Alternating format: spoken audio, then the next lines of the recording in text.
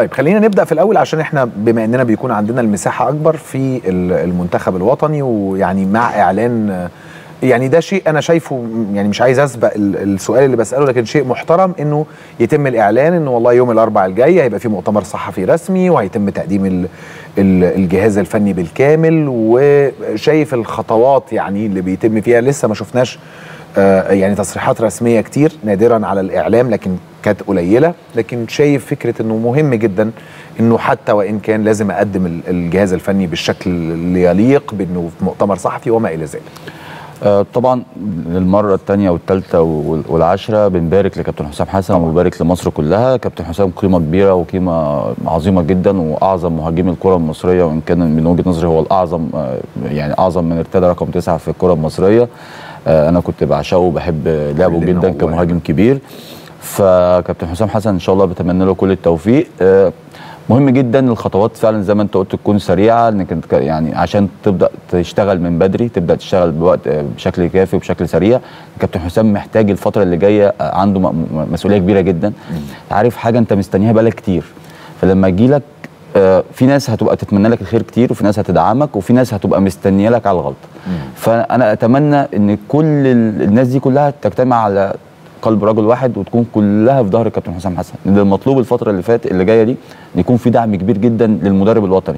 يمكن أنا سمعت المداخلة بتاعت كابتن طارق. وكلامك معاه. الدعم الدعم مهم جدا. فلما اتحاد الكرة دلوقتي بيقرر إن يوم الأربعاء هيبقى في اجتماع إن شاء الله بإذن الله ويبقى الشكل الرسمي الإعلان عن المدير الفني كابتن حسام حسن وجهازه بالكامل. من بعدها هيبدأ مباراة الدوري الممتاز. على طول أعتقد كابتن حسام وجهازه هيبدأوا الشغل. كابتن حسام على دراية كاملة بلعيبة الدوري المصري. فرصة كبيرة جدا. أنت عايز أقول لك إن الفترة الجاية هتبقى قوية جدا في الدوري المصري لأن كل اللعيبة عارفة إن كابتن حسام ما عندوش يعني الاسم الكبير والنجم الكبير بتاعه اللي هيتعب في الملعب. النجم الكبير بتاعه واللي هي اللي هيموت نفسه في الملعب. وهنيجي للتصريحات. بس أنا أنا بتكلم في, في كابتن حسام. عشان في تصريح آه فعلا في تصريحات. ما أنا بتكلم فانا يهمني جدا ان الفترة اللي جاية اللعيبه كلها تركز في الدوري المصري اللعيبه كلها تطلع اقصى ما عندها لأن كابتن حسام اكتشف لعيبه كتير كابتن حسام بيحب دايما يجيب اللعيب الجعان كوره. بلغة الكورة كده اللعيب الجعان اللعيب اللي, اللي ما عندوش تشبع اللعيب اللي عنده طموح اللي عنده رغبة. كابتن حسام عنده ميزة كمان تجدد الدوافع. كابتن حسام دايما عنده حوافز عنده دوافع جديدة دايما عايز يكسب دايما عايز يبقى ما بيحبش الخسارة حتى في التمرين. يعني خلي بالك في التمرين كابتن حسام بيكره الخسارة. كابتن حسام دايما هيحط لعيبته اللعيب اللي مش هيستحمل الضغط العصبي والنفسي اللي كابتن حسام هيحطه عليه. أنا بقول لك دايما عايز مكسب. ودي حاجة كويسة جدا حاجة مميزة جدا لو رجعنا لتصريحاته لما لو لو عايز نتكلم طبعًا فيها كمان طبعًا.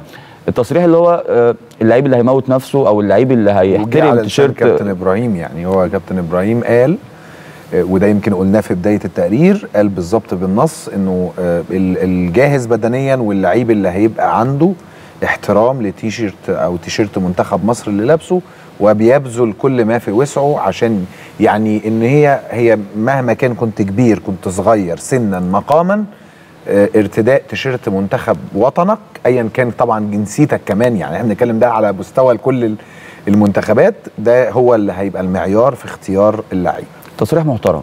أنا أنا التصريح ممكن يتقابل من بعض الناس بسخرية آه لكن في ناس آه طبعا اللي متفهمة الموقف واللي بتقدر الموقف بجد لا بتحترم التصريح بشكل كبير جدا لأن كابتن إبراهيم وكابتن حسام هم شخصية واحدة الاثنين تفكير واحد نفس الروح نفس شكوت الشخصية. فالتصريح مهم جدا. ليه؟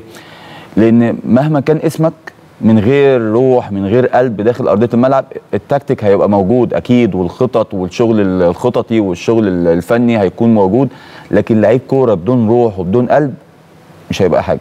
لا انت دلوقتي شوف لعيبة كبيرة جدا انت بتشوف فرانك كيسيه مع المنتخب الايفواري روح وقلب وغيرة كبيرة جدا على تيشيرت بلده لأن اسم كبير وعارف إن ده هيضيف إيه ليه لما يكون بطل أفريقيا. انت بتتكلم دلوقتي أهلي جدة بيقول لك أفريقيا تنتظر رئيسها. فأنت بتتكلم إن هي حاجة كبيرة جدا. أوسمن مع المنتخب النيجيري هو ما بيفكرش إن أنا أحسن لاعب في أفريقيا. والله ما أنا بتكلم اللي هو مش أحسن لاعب في أفريقيا فهيجي متعالي. لا شوف علاقة الحب والود اللي بينه وبين زمايله. شوف علاقته وإصراره وروحه داخل الملعب. ده اللي ده اللي يقصده بعد